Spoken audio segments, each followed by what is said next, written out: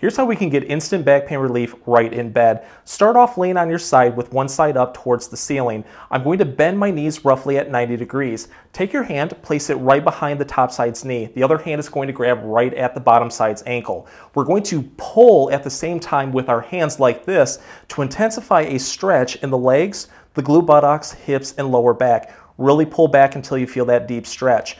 From there, I'm going to take the top side shoulder and then rotate it downwards with my upper back until it's flat on the bed.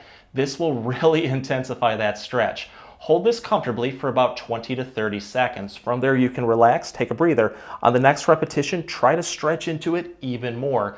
Do this three to five times. And when you're done on one side, switch to the other to keep them both in balance.